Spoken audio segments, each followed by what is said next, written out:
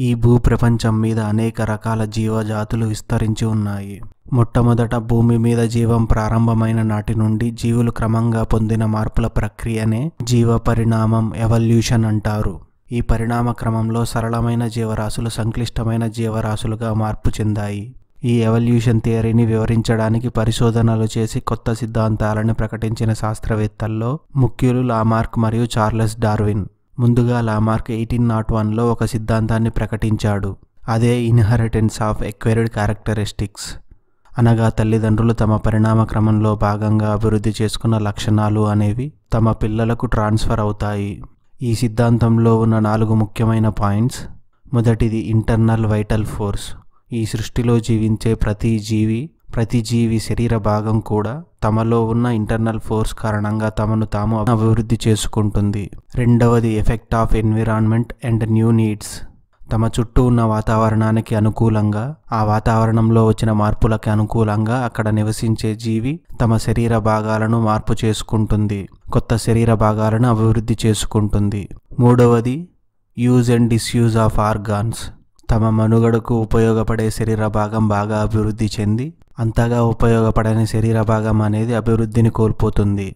నాలుగవది inheritance of acquired characters ఏ జీవి అయినా తమ జీవిత కాలంలో ఇంటర్నల్ వైటల్ ఫోర్స్ ద్వారా కానీ వాతావరణ మార్పుల కారణంగా కానీ use and disuse of organs కారణంగా కానీ అభివృద్ధి చేసుకున్న లక్షణాలు అనేవి తమ నెక్స్ట్ జనరేషన్కి ట్రాన్స్ఫర్ అవుతాయి. ఇంకా లామార్క్ తను ఇచ్చిన సిద్ధాంతానికి అనుకూలంగా అనేక ఎగ్జాంపుల్స్ కూడా ఇచ్చాడు. అవి జిరాఫీ. జిరాఫీ పూర్వం నాలుగు కాళ్ళతో చిన్న మెడతో ఒక గుర్రం లాగా ఉండేది. కానీ తాము నివసించే ప్రదేశంలో సర్ఫేస్ వెజిటేషన్ లేకపోవడం వలన ఆహారం కోసం మెడను స్ట్రెచ్ చేసి చేసి అలా మెడ సాగిందని.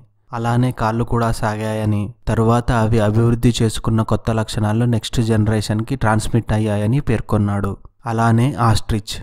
ఆస్ట్రిచ్ పూర్వం అన్ని పక్షులలాగానే ఫ్లై చేసేదని.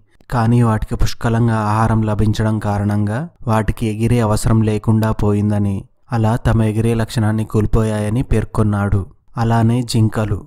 జింకలు కూడా పూర్వం అంత స్పీడ్గా పరిగెత్తేవి కావని తమ ఆత్మరక్షణకు అనుకూలంగా వాటి వేగంలో మార్పు తెచ్చుకున్నాయని చెప్పాడు.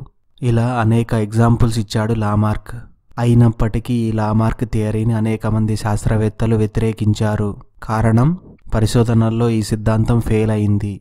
లామార్కిజంని వ్యతిరేకించిన వారిలో ప్రముఖుడు వీస్మన్. ఈయన పరిశోధనల్లో భాగంగా ట్వంటీ టూ జనరేషన్స్కి చెందిన ఎలుక తోకలను కత్తిరించాడు బ్రీడ్ చేశాడు. కానీ ఏ జనరేషన్లో కూడా తోకలు లేని ఎలుకలు జన్మించలేదు. అలా లామార్కిజం తప్పని పేర్కొన్నాడు. అలానే నోబెల్ ప్రైజ్ని సాధించిన చాలామంది శాస్త్రవేత్తల పిల్లలు వారిలాగే అంత తెలివిగల వారిగా మారలేదు. అందువలన లామార్క్ యొక్క ఇన్హెరిటెన్స్ ఆఫ్ ఎక్వైర్డ్ క్యారెక్టరిస్టిక్స్ అనేది తప్పు.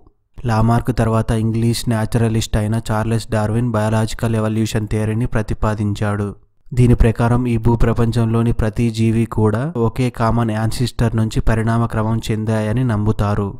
ఈ సిద్ధాంత ముఖ్య సూత్రం ఏంటంటే న్యాచురల్ సెలక్షన్ అదే సర్వైవల్ ఆఫ్ ది ఫిట్టెస్ట్. ఈ సృష్టిలో ప్రతి జీవి కూడా తమ సొంత జాతిలోని సమూహంతో ఇతర జాతి యానిమల్స్తో తమ చుట్టూ ఉన్న వాతావరణంతో వాతావరణ మార్పులతో ప్రతి క్షణం సర్వైవల్ కోసం పోటీ పడుతూనే ఉంటుందని. కానీ ఈ పోటీలో నేచర్కి అనుకూలంగా ఉన్న జీవులే సర్వైవ్ అవ్వగలవని పేర్కొన్నాడు.